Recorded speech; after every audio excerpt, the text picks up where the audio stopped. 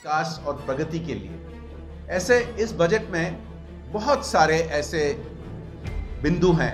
अमृत काल का पहला बजट है। यानी कि अभी आज़ादी का 75 साल कंप्लीट हुए हैं और ये बजट ना केवल इस साल की प्रगति के लिए है, ये एक ग्राउंड वर्क ले करता है आने वाले 25 साल के दुख की बात यह है कि इतने सारे जो केंद्र सरकार ने एलोकेट करती है, वो बिहार में पूरी मात्रा से उसका यूटिलाइजेशन नहीं होता है। नमस्कार, आप न्यूज़ फोर नेशन देख रहे हैं। मैं हूँ आपके साथ वंदना।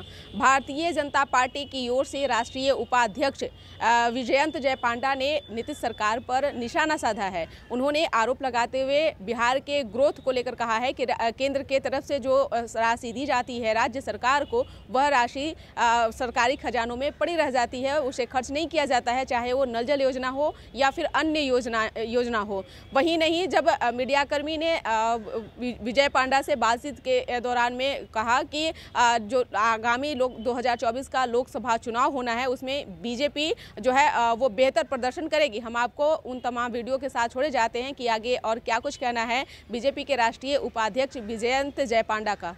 के विकास और प्रगति के लिए ऐसे इस बजट में बहुत सारे ऐसे बिंदु हैं। मैं सबको तो उल्लेख नहीं कर पाऊँगा समय के वजह से, लेकिन कोऑपरेटिव सेक्टर जो है बिहार जैसा प्रदेश का अर्थनैतिक व्यवस्था में कोऑपरेटिव सेक्टर का बहुत ही बड़ा हिस्सा रहता है। और कोऑपरेटिव सेक्टर की आमदनी पर जो टैक्स हुआ करता था तीस प्रतिशत को उसको पचास प्रतिशत कम किया गया है पंद्रह प्रतिशत को। ऐसे में बहुत सारे उदाहरण दे सकता हूँ आपको।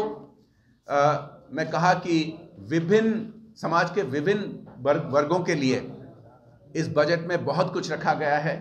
महिलाओं के लिए, युवाओं के लिए, दलित और पिछड़ा समाज के लिए, जनजाति समाज के लिए, जो निषाद समाज है, उसके लिए भी बड़ी जो एलोकेशन रखा गया है छः हज़ार करोड़। कहना चाहूँगा कि ये अमृत काल का पहला बजट है।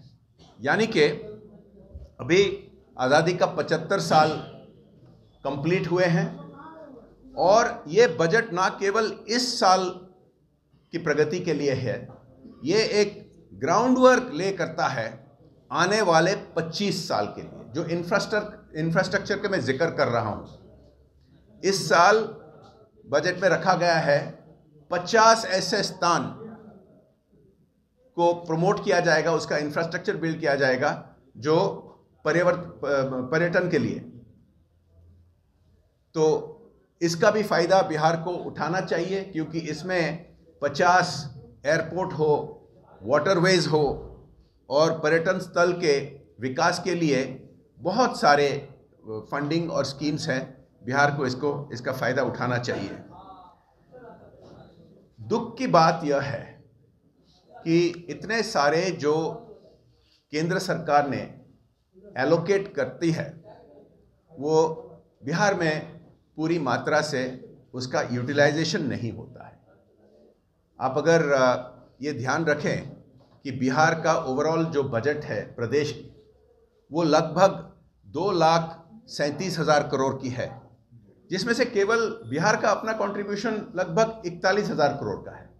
बाकी सब केंद्र से या तो ग्रांट या किसी किस्म का बजटरी सपोर्ट से एलोकेट होता है। और दुख की बात यह है कि कई सारे बड़े केंद्रीय योजनाएँ जो बिहार को आगे लेने वाले हैं, वो किसी ना किसी कारण यहाँ लागू नहीं हो पा रहे हैं। ऐसे दो तीन उदाहरण मैं देना चाहूँगा। जो एक सबसे बड़ा योजना जो है, नल जल योजना, जो हर घर जल पहुँचा रहे हैं, जो काम दशकों से रुका हुआ था, जो आदरणीय मोदी जी के नेतृत्व में, भारत में कोने कोने में गया है। ये मैं मानता हूँ एक ऐतिहासिक बजट है। और ये इतिहास संभव करने के लिए जो कठिनाई के बारे में थोड़ा उल्लेख किया, ये कहूँगा जैसे कि जीएसटी जीएसटी 20 साल से अपेक्षित था। मोदी सरकार आने के बाद ही जीएसटी लागू हुआ। कई लोग इसका विरोध किए और कई लोग अभी देख रहे हैं कि जो प्रदेशों ने भी जीएसटी के थोड़ा उनका इतराज़ था, वो अभी खुश हैं क्योंकि उनका अपना रेवेन्यू बढ़ा है और लगभग हर महीना डेढ़ लाख करोड़ उससे लाभ आता है देश को। और वो होते हुए भी जो हमारे टैक्स पेयर्स हैं, उन पर बोझ कम हुआ है। तो इसके वजह से इस साल जो बजट पेश किया गया है, वो एक बहुत बड़ा विन विन बजट है। एक तरफ़ से जो हमारे मध्यम वर्ग के नागरिक हैं, जो हमारे टैक्स पेयर्स हैं, उन पर बोझ कम किया गया है, लेकिन साथ साथ देश के विकास के लिए, सभी प्रदेशों के विकास के लिए, बिहार के विकास के लिए एलोकेशन बहुत ही बहुत ही बढ़ा गया है। मैं अगर उदाहरण दूँगा इंफ्रास्ट्रक्चर का। और इंफ्रास्ट्रक्चर में इन्वेस्टमेंट करने से ही जॉब्स क्रिएट होते हैं, नियुक्ति दे सकते हैं। इस बार ऐतिहासिक 10 लाख करोड़ का एलोकेशन जो हुआ है, उसका मतलब पिछले साल से 33 प्रतिशत इसको बढ़ाया गया है। और ना केवल इतना, ये ध्यान रखें कि तीन साल पहले कोरोना के असर होते हुए भी उस समय का ऐतिहासिक इंफ्रास्ट्रक्चर का एलोकेशन रहा साढ़े तीन लाख। तो तीन साल पहले साढ़े तीन लाख, दो साल पहले साढ़े पाँच लाख करोड़ का एलोकेशन रहा इंफ्रास्ट्रक्चर के लिए। ये जो इस साल जो चल रही है, इसके लिए साढ़े सात लाख करोड़ का एलोकेशन हुआ और अभी इस बजट में साढ़े सात लाख करोड़ से दस लाख करोड़ को बढ़ाया गया। और ऐसा नहीं है, थोड़ा बाद में।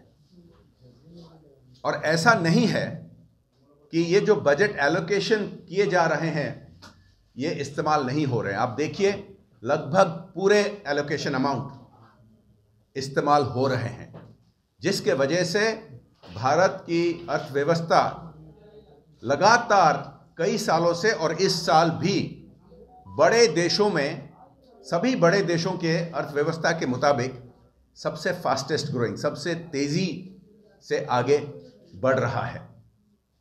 और यही संभव करता है इस तरह के एलोकेशन और ये जो बजट एलोकेशन हो रहे हैं, ये देश के समाज के सभी वर्गों के लिए, सभी वर्गों के हित में है। जैसे बिहार में बहुत सारे हमारे कृषि भाइयों हैं, और अगर आप देखें इस साल तो कृषियों के लिए केवल क्रेडिट गारंटी स्कीम अभी 20 लाख करोड़ को बढ़ाया गया है। और प्रधानमंत्री जो कृषि स्कीम है, हर साल तीन बार जो डायरेक्ट बेनिफिट ट्रांसफ़र किया जाता है, बिहार में ऐसे लगभग 80 लाख की आबादी है कृषियों के, जो इससे उनको फ़ायदा पहुँचता है।